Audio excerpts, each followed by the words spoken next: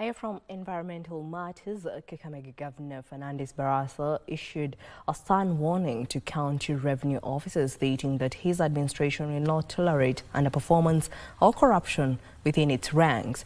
Speaking at the county chambers during a consultative meeting with county executives, and the Commission for Revenue Allocation, Barasa underscored Kakamega County government's determination to meet its 2.2 billion shillings revenue target for the current financial year.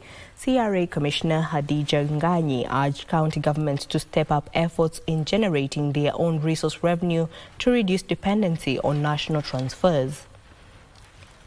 I has stolen mtu aliiba receipts or permits and then you are still keeping that stuff here because you're going through Chirmac, hose.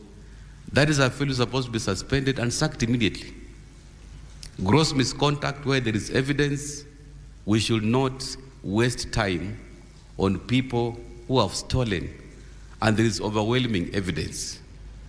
Source revenue gives counties financial independence. You don't have to go to anyone to beg for anything. If you have your own money, you know what to do. You'll be able to provide services to your people so that the people of Kakamega County enjoy their, uh, um, the fruits of devolution.